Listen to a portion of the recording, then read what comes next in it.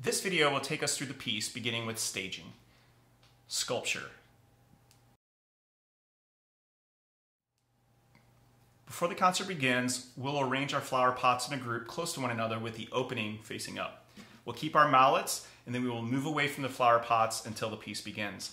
And what we're creating is somewhat of a tableau or a sculpture. We'll probably do this about 15 minutes before performance. Then at 7.30, we will work our way back towards our flower pots, pick up our flower pots, and then space back out.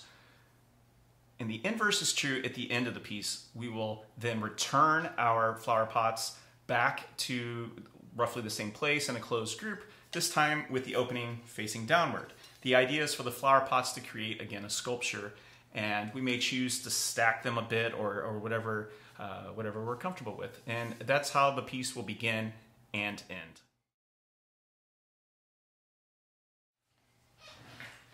Now we're ready for the piece. Movement one is expanding blooms. The bloom is at the heart of Elliot Cole's collection of flower pot music pieces. Each person plays a single note spreading throughout the group like the wave in a stadium for a sporting event. So here's how it starts. I'll begin by tolling two times.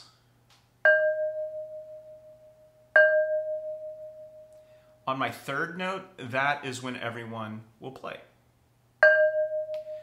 So you can think of this as ready, set, go. I won't say that, uh, but that's maybe something that you could have in your head. On that third time, everyone plays, everyone follows, and when someone near you plays, play. Uh, respond as quickly as you can to the sounds around you, but do so in a relaxed way and allow that sound to ripple throughout the whole group in one continuous flow. Consider maybe playing slightly quieter than the person before you or next to you so the whole aural shape tapers softly and no one's note stands out.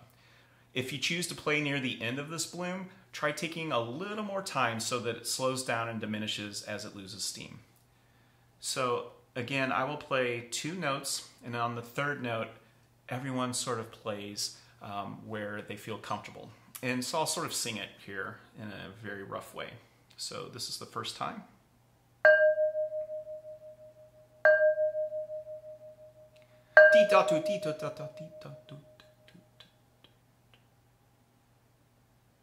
And as you play, listen deeply to the whole bloom. Make a mental image and try to commit where you played to memory. Having said that, the next thing you're going to do is an impossible task. As a group, we'll recreate the, the bloom as closely as possible. Try to play your note in the same place that it was at the same volume, at the, but this is by design imperfect. Don't expect it to be the same. We don't want it to be the same, exactly the same, but that's sort of what we're after from a listening standpoint. And then we will repeat this four more times without the ready set at the beginning. So, uh, and each time you just make little adjustments in order to try to become more relaxed and try to get that sound energy to flow more smoothly through the group. So the whole bloom will be essentially like this, part my rough singing again.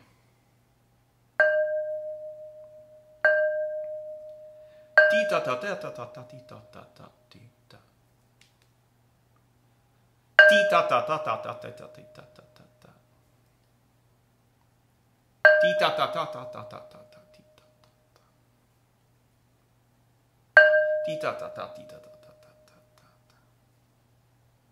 da. Dee da da da da da da da da da da da.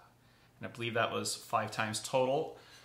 So once we are done with that, we will at that point move to a different space and we will Find that place, observe some silence, and then we will repeat this entire sequence beginning with the ready, set, play. And we will do that four more times, so five total. And it'll sound different to you. We will be further apart. And for the audience, the people in the garden, they will experience a, a different aural effect as well. And we will repeat this um, it, depending on the mood and the feeling of, of the moment, we will repeat that whole process a few times, this expanding bloom.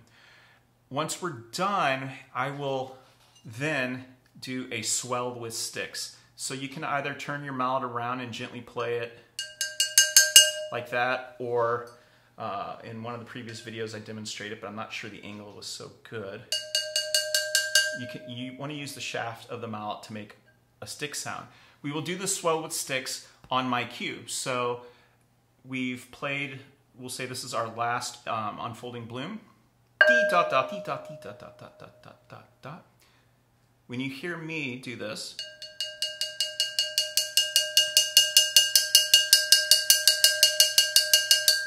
and those around you begin to do the same, we will swell that and then take it to nothing.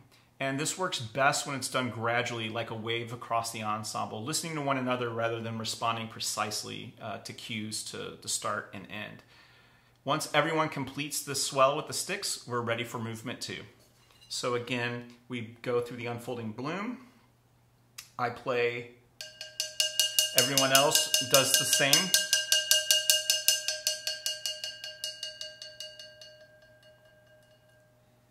Until everyone tapers off. And we are then ready for movement two. Movement two is traveling swells. This movement begins as I walk to the opposite side of the playing area, playing a series of swells.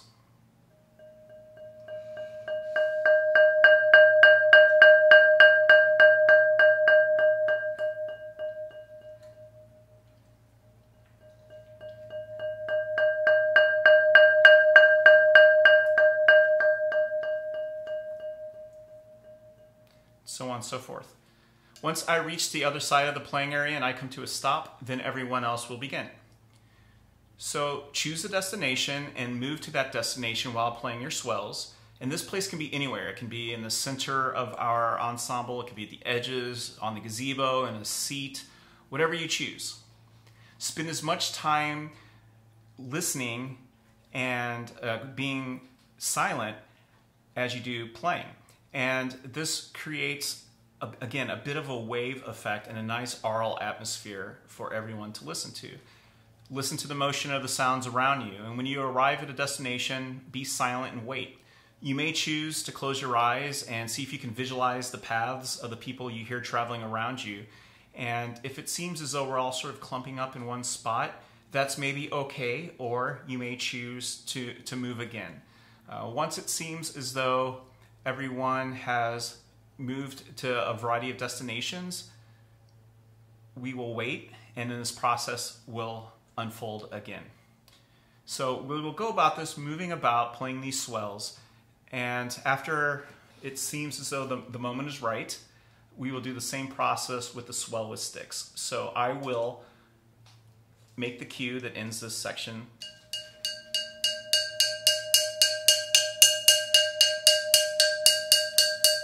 And everyone, just like we did at the end of movement one, will follow that process by playing your swell with sticks. And that concludes movement two.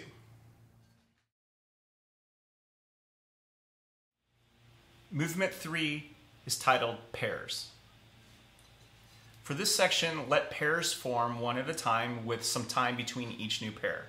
How this works is you find someone, make eye contact, and then try to play a single note in unison. If you don't succeed at a perfect unison where you both play at the exact same time, try again until you do. And again, repeat as necessary. Once you're able to hit that perfect unison, find someone else and repeat this process. Try it with people near you, try it with people far away on the opposite side of the group. Move to a new place if you'd like, and you continue this uh, until you guessed it, a swell with sticks. I will play the swell with sticks. And that becomes, again, the cue for everyone else to play the swell with sticks until we taper into nothing. And that marks the end of this section. So this may take a, a long while. Again, it may not. It depends on the mood and, uh, and the moment that we're in. So if you don't find yourself paired up right away with someone, that's okay. You can wait and for you can wait until someone seems to be scanning for another performer. And what i recommend is make eye contact maybe a small stick gesture and then attempt to play together. And again the imperfection is what makes the movement pairs exciting and interesting and it should be fun the idea isn't that we try to get a perfect unison right away, but we enjoy the process of trying to play notes together. Movement 4 is titled Frisbee.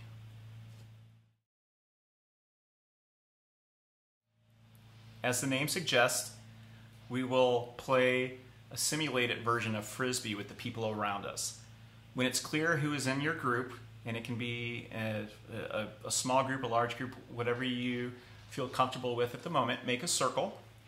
Once you have a clear circle going, you get into a steady rhythm. And how this works is you hit the note and you simulate passing your flower pot across the circle to someone else. That person will receive the flower pot, make eye contact with someone else in the group, play a note, pass the flower pot figuratively. That person will pretend to receive the flower pot, look for someone else, play a note, and pass it. And you want to try to get this circle moving and get it into a steady rhythm as though you were playing frisbee. Again, uh, for the, the sake of everyone involved, this is simulated that you just act as though you're passing the flower pot rather than actually passing the uh, throwing a flower pot and we'll try to collectively speed up or slow down the rhythm together, however everyone is feeling within that circle. There's no need to get extremely fast or to go at any particular speed for that matter. It's completely up to uh, the vibe of what's happening in your circle. And I do recommend that you have just one frisbee per circle. And again, as you might have guessed, this will end with the stick swells. Everyone will do the same. And at this point, if you're standing, sit down or relax for a moment. Uh, you can probably relax with your flower pot and hold it with both hands. And we're going to listen and wait for a while. And at this point, we're listening to the surrounding. What else is happening in the park? What else is happening in the space? And we just, we'll wait for a while. And I should mention we will likely do that to a certain extent in between all of the movements, but we will put a particularly longer pause between movement four and movement five. Movement five, free blooms. Free blooms begin with tolls similar to the beginning of the piece. I will play two tolls And on my third note, we will unfold a new bloom, exactly like we did at the beginning. And we will do this five times total, smoothing it out as we go. Then we'll have some silence.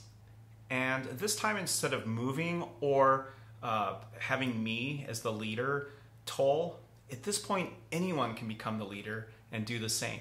So at this point, we wait, and as someone feels the the moment, someone else may choose to toll twice. On that third note, then we unfold five blooms. We'll continue this process as is comfortable. And if two people happen to start at once or three people start at once, that's okay. The people around uh, closest to that person can follow those particular blooms. What's important is to sort of wait and listen and notice how these patterns radiate and maybe cross, maybe even interfere with one another. And again, if more than more than one person plays at a time, that's okay. Uh, and we can repeat this game as long as we want and enjoy the process. Just listen deeply and enjoy the sound. Um, and after this takes place for a while, uh, again, depending on the moment and how we're feeling, I will start a stick swell Everyone will do the stick swell as well, and that marks the end of the section. And then we will fall into another silence as we prepare for movement six.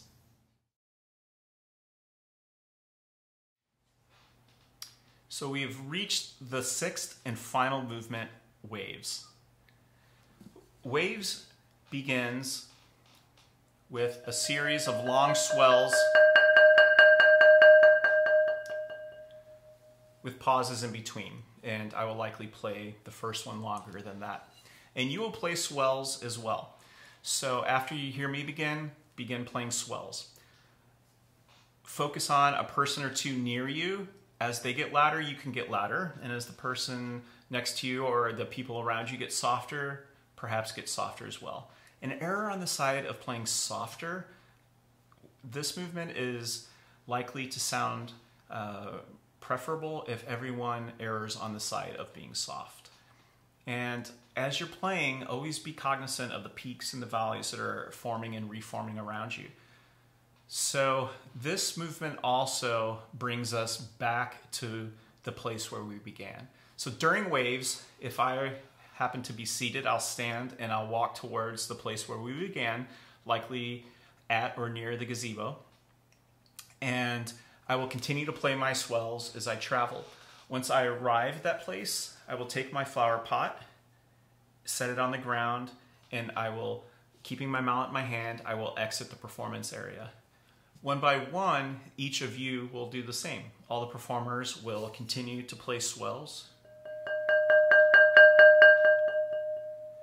Again, being aware of those around you that are also playing swells, and make your way to the place where we began. Take your flower pot, set it down, keeping your mallet, walk away from the performance area. Once we've all done that, the piece is over everyone will be off stage. Our flower pots will remain in a cluster or a pile or uh, our, uh, our tableau or our sculpture, essentially.